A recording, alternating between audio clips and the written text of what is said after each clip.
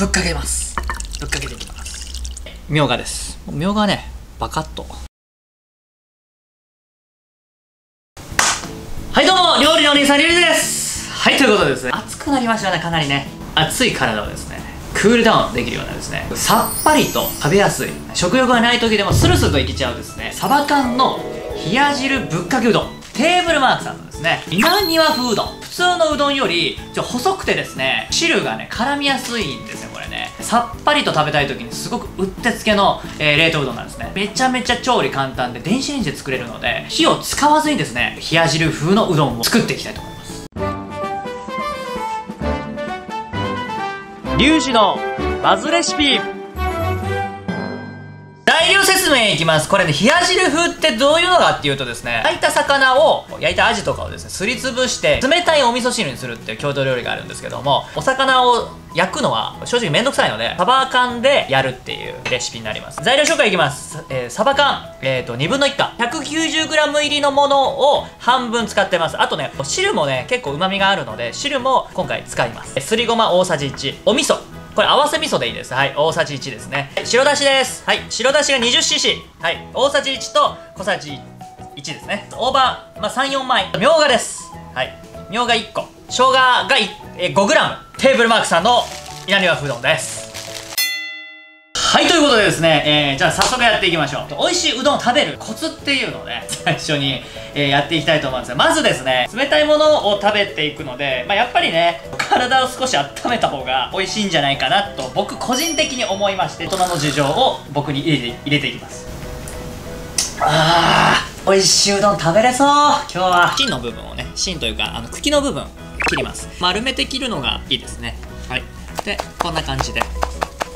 あんま切れてないけどね。こうやってねばらけさせておきましょう。今日はねこれここちょっと,、えーと、切っておいていただいた方がいいですね。半分に、えー、していきます。はい。半分にしたみょうがは、えー、こうやってですね、えー、千切り。はいこんな感じでね。ボウルに、えー、サバ缶。で汁ごと入れちゃってください。あとお味噌。はい。それごま。スプーンかなんかでねよくねえっ、ー、とこうほぐしてあります。こんな感じでほぐすと、えっ、ー、と、このね、サバの身がね、味噌汁と混然一体となってですね、すごくね、美味しくなるので、崩しておいてください。大きさお好みです。あの、少しね、具材感があった方がいいなっていう方は、えっ、ー、と、粗く崩していただいて、白だしです。で、冷たいお水です。はい。キンキンに冷えたものがおすすめです。はい。混ぜながら、お味噌がね、固まってると思うんで、こうやってね、混ぜながら、あ、で、あと、あと、生姜ね、そっていきます。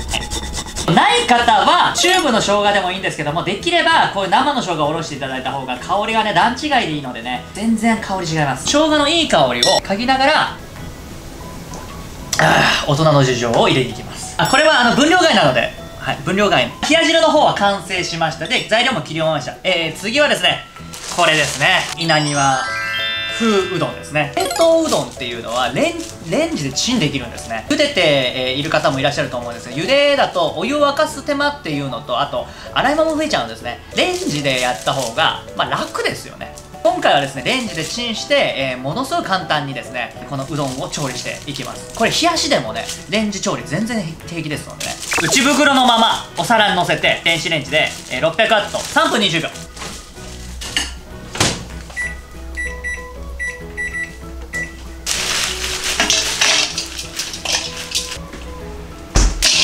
チンが終わりましたんで気をつけて持たないと袋が破れて飛び出しちゃうので。こいつをですねえっ、ー、と氷水で冷やします。本当にね氷水がいいですね。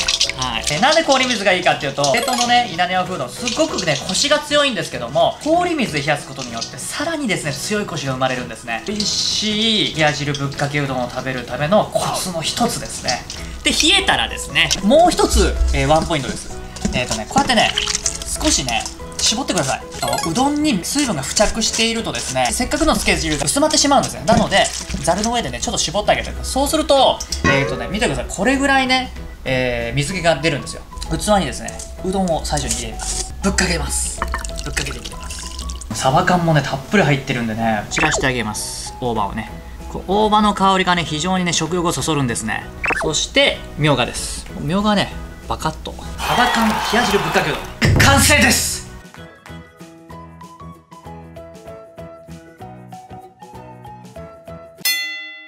はいではですねできましたので早速食べていきたいと思います。いただきます。いただきます。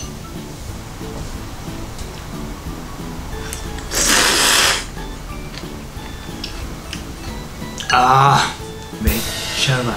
キンキンに冷やした稲庭うどんのコシがすごいですね。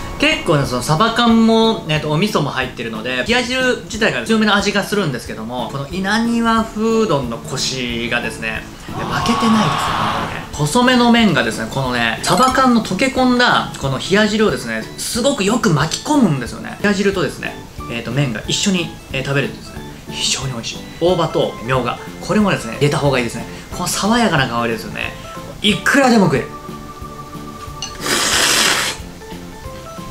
うわうまっ。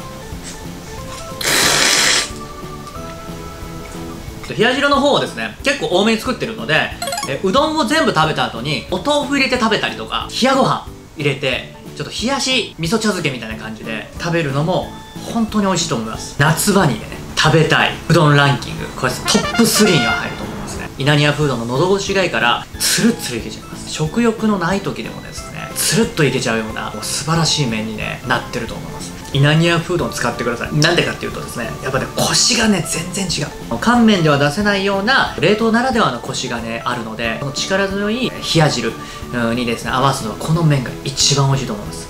ぜひ皆さん作ってみてください。はいそれではですね今回のお料理どうでしたでしょうか？めちゃめちゃ美味しそうだなっていうふうに思っていただいた方やってみたいなって思っていただいた方ぜひぜひチャンネル登録高評価よろしくお願いいたします。